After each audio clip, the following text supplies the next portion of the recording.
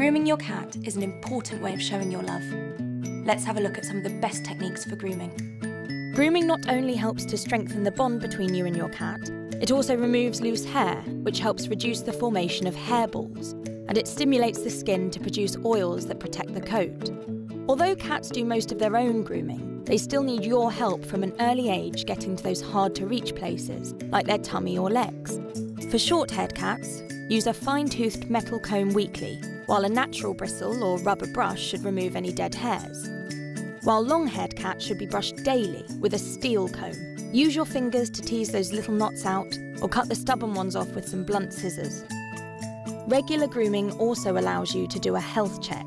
Look at the ears, mouth, and eyes for anything unusual. You should also check for fleas, ticks, lumps and bumps by going over your cat's entire body with your hands. Loose hairs are constantly ingested by cats during grooming, and this can lead to formation of hairballs. Changing her diet can help.